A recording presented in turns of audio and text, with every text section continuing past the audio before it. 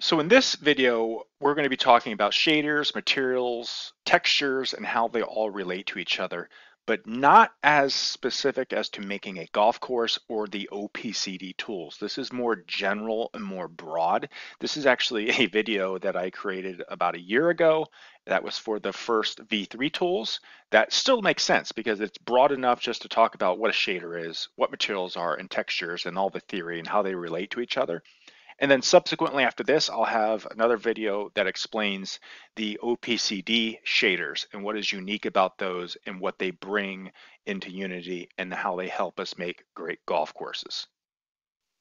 So what is the relationship between shaders, materials, and texture? So think about shaders as a, a way that we manipulate how a material appears in game. And now you're like, okay, well, I don't even know what a shader or material is. How do I do this? Well, I'm going to explain to you kind of like this scenario and this real life situation. So, and then also materials ultimately use texture. So just remember that shaders use materials, shaders manipulate materials, and materials use textures, okay? So it's this kind of hierarchy.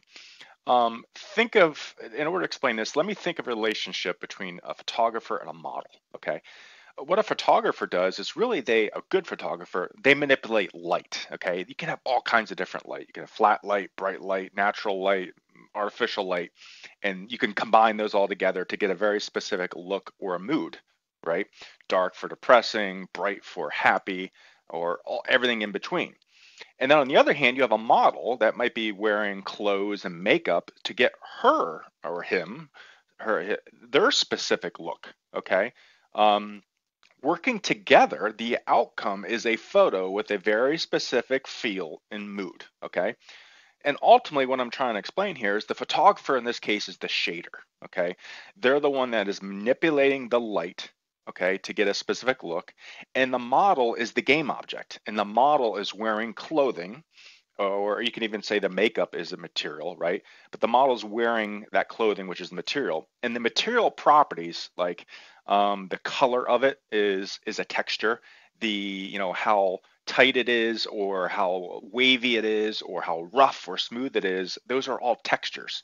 So a material has all these properties, which are textures. So now you can see that relationship uh, between photographer and model, and now you can maybe get start getting an idea of the relationship between shaders, materials, and textures.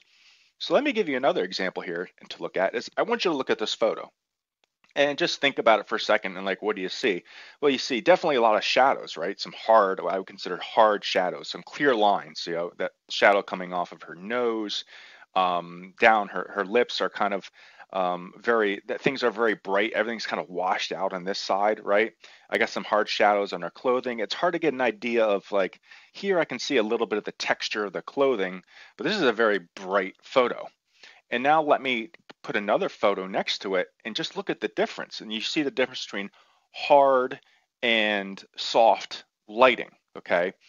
And the difference between these two photographs is ultimately the what we consider the shader, okay, on, on how that light is manipulated. On the photo on the left here, the original one I showed you, you can definitely see like some, I would say like the the the texture of her skin, how like it's bumpy, and she's got good skin. But ultimately, if she had some acne or something, it would even now you can kind of see her pores a little bit more here. Where the one on the right you don't. So depending on the look you're going for, um, you know, these photos are very different. And the photographer manipulated the light, might have been through Photoshop or some other means to get two different outcomes here. One is a very harsh photo. I would say in the one on the left, she actually looks even angry. And the one on the right, she looks a little more calm and subdued. So just be, because of the, the way that light is manipulated, it, it changed things. So ultimately, what are shaders? In Unity, shaders are programs or they're scripts that uh, ultimately control how light is manipulated, okay? How materials are manipulated. They control how those materials appear inside of Unity. There are all, kinds of different shaders, um, and you're gonna see those inside of Unity like so some of these like uh, uh, uh, properties are you can set a material that uh, or a shader that allows you to see through an object and gives it transparency. So it's not just how it appears it's whether it appears or not okay? You have other materials that we call uh, that control reflections and there's things called cube maps. Um, so if, if material, you can actually have a material reflect its surroundings, okay? And then there's other things with color manipulation, like what we call metallic. So um, like how things look like uh, if it is like more metallic looking, um, how shiny it is, and then you have smoothness as well. So you know something that's very smooth and very metallic would be like a pinball, like in a pinball machine. That is like ultimately very metallic and very smooth. But the other end of that, something is very non-metallic and less smooth. That's something very, very rough. Like i'm looking down at my clothing my t-shirt that i have on is not metallic and it's not smooth at all right? Um, it really diffuses the light. So that's what shaders control. It allows you to control what properties that you can use to manipulate materials. So what are materials and textures then? So a material really is nothing more than a sequence of colors that get mapped to a game object in a game object, you consider that like the clothing of the object, and it's it's it's like the clothing on the model. It's the color of the clothing, the texture, the the, the roughness of the clothing, how wavy it is, right?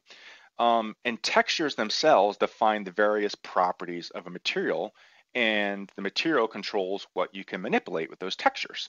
So, for example, we have a, a one property a texture called albedo or diffuse, which is ultimately that's the base color, right? For example, plaid all right, is a base color. It's multiple colors. It's just not, it doesn't have to be one color. It's just not purple.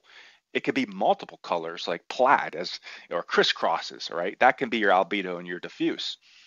And then we have another thing. These are just examples. There are a lot more than what I'm showing you here, but another one is called normal, which is um, how we can use shadow tricks to make a, a, a texture or a material look like it has cracks or crevices or it's wavy. For example, grains of wood would typically have cracks in them, and we can use a normal texture to to make it look like it's got those cracks and things. And then I talked about this, we have these other textures. You can have a metallic texture, you can have smoothness, and you can manipulate those as well, make something more metallic, more smooth. So ultimately, all these textures get fed into the material, and the material gets ultimately manipulated by a shader.